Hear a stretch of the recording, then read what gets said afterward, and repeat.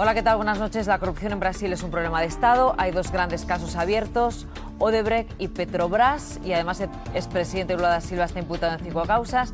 Y además a su sucesora Dilma Rousseff le echaron por irregularidades a través de un proceso de destitución. Y ahora Temer podría acabar de la misma manera. Aquí en España, el Congreso ha aprobado la reforma de la estiva y ha puesto a los trabajadores en pie de guerra. Esta mañana se han marchado indignados de la tribuna y se han apresurado a confirmar las jornadas de huelga que están previstas para la semana que viene. La reforma ha salido adelante a la segunda con el apoyo del PP, Ciudadanos, el PNV y con la abstención del PDCAT.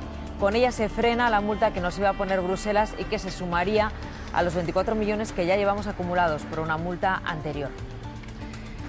Narnia, Nenúfar y Nervio son los últimos tres linces que han corrido hoy hacia la libertad en los montes de Toledo gracias al programa Life Iberlince. El lince ibérico es el felino más amenazado del planeta, pero los proyectos de conservación están dando sus frutos.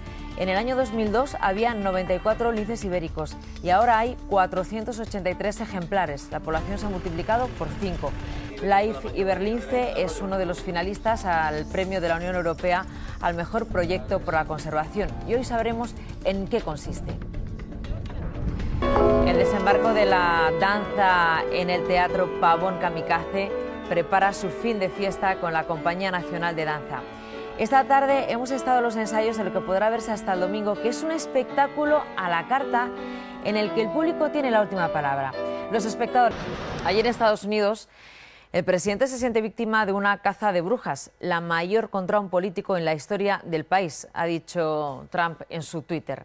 Esa supuesta persecución se debe a que el Departamento de Justicia ha nombrado un fiscal especial para supervisar la investigación sobre la injerencia rusa en las elecciones.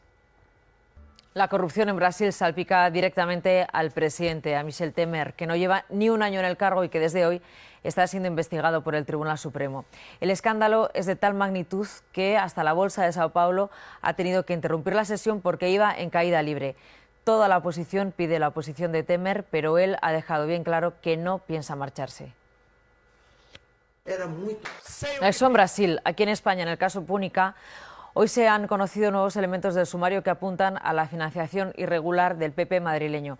Según un y en el Congreso se ha montado hoy un buen lío por los presupuestos. PP y Ciudadanos quieren dejar en el cajón 4.000 enmiendas de la oposición porque superan el gasto previsto en las cuentas de Montoro.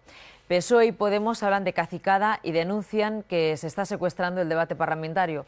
Y los dos han recurrido a la mesa del Congreso y el PSOE no descarta acudir incluso al Constitucional.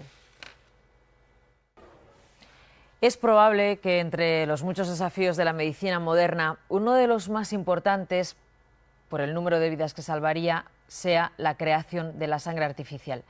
Dos equipos de científicos han publicado en la revista Nature el resultado de una investigación que parece ser un paso más hacia la fabricación de la sangre. Esta suelta de hoy forma parte del programa Life Iberlince es uno de los cinco finalistas al premio al mejor proyecto de la naturaleza y diversidad de la Unión Europea, que se va a otorgar el día 30 de mayo en Bruselas. Y en las dos noticias nos hemos preguntado cómo funciona el programa de recuperación del lince ibérico, en qué consiste y cuáles son las claves de un éxito que tiene cifras. En el año 2002 quedaban apenas 100 ejemplares y hoy hay casi 500 linces ibéricos en toda la península. Antes de